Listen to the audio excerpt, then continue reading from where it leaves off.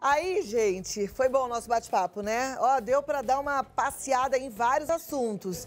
Entender um pouco da vacina, entender um pouco da Covid, da tal de pega de novo, não pega de novo, né? Entender sobre qualidade de vida. A gente continua aqui assim.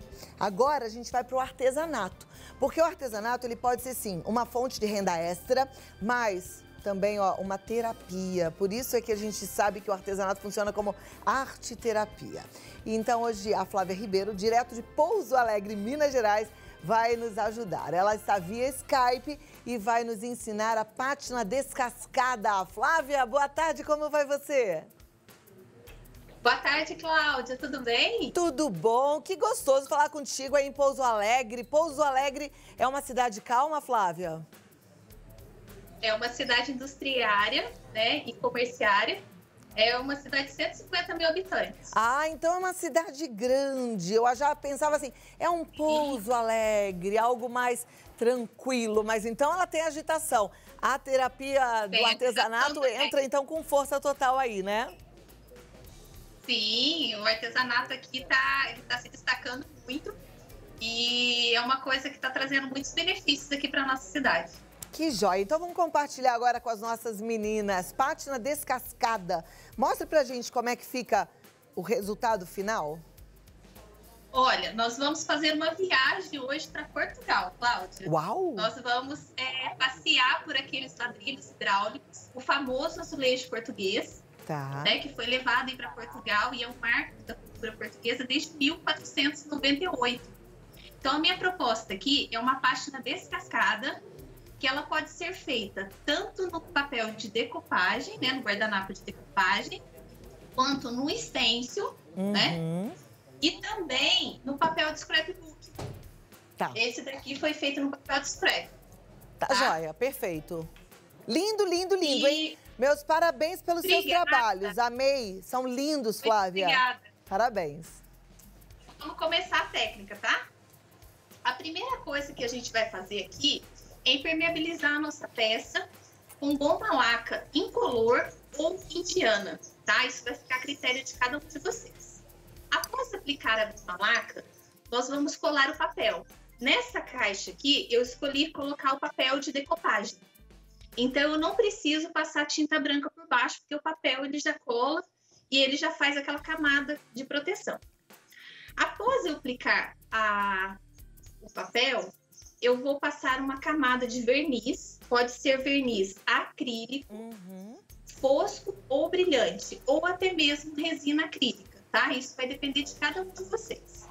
Posso secar no soprador, no, no soprador ou no secador. Uhum. Depois eu venho com uma camada generosa de goma laca incolor. Esse processo aqui é muito importante, porque a goma laca vai garantir a selagem aqui do nosso papel. Após eu aplicar a goma flor, eu vou aplicar uma camada de cera em pasta incolor. Pego uma buchinha e aplico a cera aqui em toda a minha peça, uhum. tá? Depois que eu aplicar a cera, eu não posso mais utilizar nem o secador e nem o soprador. Esse processo aqui precisa secar natural. Após eu aplicar a cera, eu venho Aqui está a minha tinta. Eu escolhi trabalhar com a tinta bege e uma tinta amêndoa. Eu venho aqui com a minha buchinha, eu mesclo aqui um pouco da tinta branca e um pouco da tinta amêndoa e vou dando leves batidinhas aqui na minha peça, tá? De forma abundante aqui na tinta, tá bom? Venho aplicando aqui, venho mesclando essas tintas. Aplico aqui com bastante carinho aqui, para ter certeza que não ficou nada descoberto. Após eu aplicar aqui, Cláudia, ela vai ficar assim, ó. Lembrando uhum. que aqui eu não posso colocar o soprador, o soprador, tem que deixar secar natural.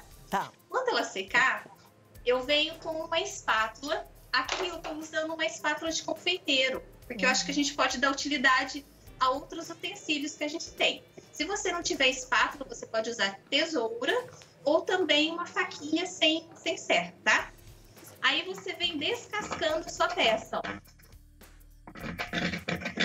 Aqui você vai descascar conforme o seu gosto, tá?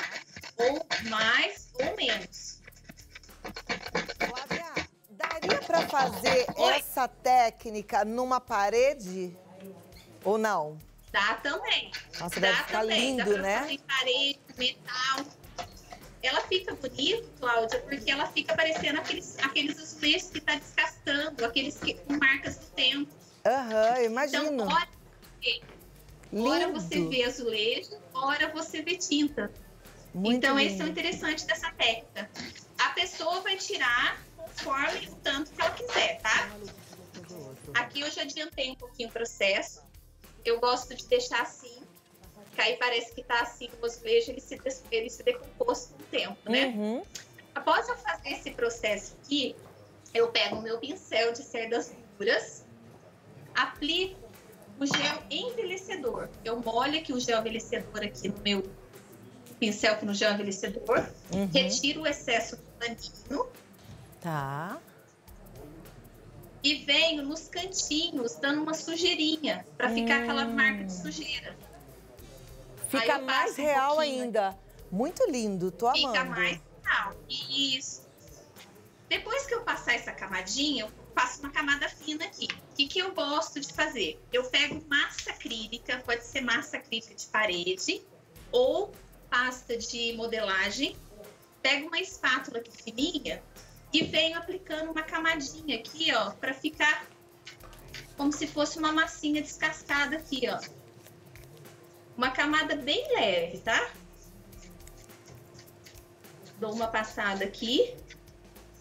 Depois eu venho com o gel de novo, agora que essa massinha secar, porque a camada é bem fina, ela seca super rápido. E venho por cima também fazendo o efeito da sujeirinha. Joia. Veja que é uma técnica simples, mas uma técnica de bastante efeito e que você pode trazer aí é, em peças decorativas, em paredes, metais, vidros. Não, eu já tô imaginando, Flávia, uma mesa assim. Olha, deve ficar a coisa mais maravilhosa, né? E fica lindo. E o pessoal depois pode aplicar também aquela resina líquida que está se usando muito. Então fica uma mesa muito charmosa também. Imagino. Ai, muito obrigada, Flávia. Deixa eu dar uma olhadinha nas coisas que você Obrigada tem aí atrás de você. Vou mostrar pra turma. Gente, olha quanta peça que ela tem, linda. Os acabamentos Peraí. especiais, né? Lindo, lindo. É a Flávia Ribeiro, lá de Pouso Alegre, nossa professora do dia. Vou passar aqui os seus contatos, Flavinha. Muito obrigada. Um beijo. Obrigada a você. Obrigada, Tchauzinho. até a próxima. Tchau, tchau. Gente, a Flávia tá no Alecrim Personalizados, tá? Tanto no Face quanto no Instagram. Alecrim Personalizados. Agora, no Insta, não tem o S, é Alecrim Personalizado. Alecrim Personalizado, tá? Aí você já pode acompanhar todo esse trabalho lindo da Flávia.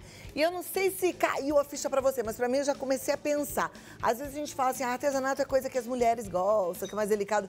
Meus amigos, agora eu quero falar com os maridos aí em casa, que de repente estão precisando se reinventar. Olha, trabalhar com restauração de móveis, com transformação. Ah, sabe aquele móvel antigo, de mogno, que tá descascado, aquele negócio avermelhado que não se usa mais? Você lixa tudo, deixa no osso, aplica uma página descascada dessa. Você vende por muito mais, tá? Ou então deixa a casa toda bonita. Você tá precisando aí de uma fazer especial para deixar o seu cantinho aconchegante. Bora Pensa, porque Deus colocou dentro de você uma caixa de dons e talentos. Vamos usar isso tudo que tem aí dentro? Vamos inventar coisas novas, correto?